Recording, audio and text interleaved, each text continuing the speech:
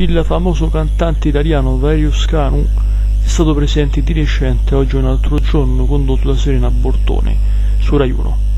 Diventato famosissimo in tutto, in tutto il nostro paese l'Italia grazie ad amici di Maria De Filippi, ha, ha vinto anche un Sanremo in maniera anche abbastanza esordiente. E parla diciamo della vittoria di Sanremo, no? Ero già una iena, avrebbe detto sono corretto, ma ogni tanto bisogna pensare tutto intorno e bisogna anche andarsi a difendere.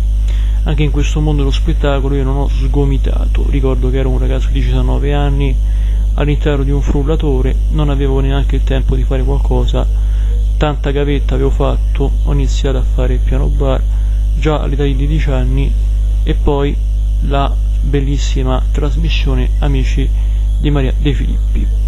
Valerio Scanu da giovanissimo si è andato a giudicare addirittura la vittoria di Bravo Bravissimo. Insomma, Valerio Scanu si parla, si racconta, si apre a 360 gradi, ormai è un artista a tutto tondo, anche grazie ai genitori e purtroppo di recente è scomparso anche l'amato padre. Infatti vi ricordo che Valerio aveva un ottimo rapporto con il suo amato padre, che si chiamava Antonio, aveva 64 anni, era abbastanza giovane secondo la mia opinione, non, non anzianissimo, comunque non era neanche diciamo così, eh, antichissimo, va bene?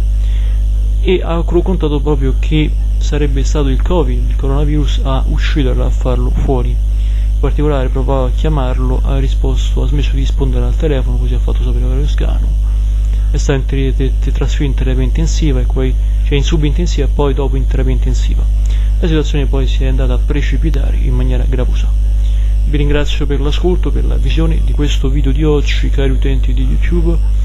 Valerio Scano si conferma ovviamente un ottimo, nonché un eccellente cantante, veramente bravo in gamba, e quindi rivolgo a lui i miei più sentiti complimenti, le mie più sentite congratulazioni. Detto ciò, grazie a tutti, iscrivetevi al canale Narratore Italiano, questo video non vuole ledere la privacy di Valerio Scano e di altre persone, ma informare eventuali persone e basta. Valerio Scano secondo me possiamo etichettarlo come un cantante di grande calibro e di grande talento.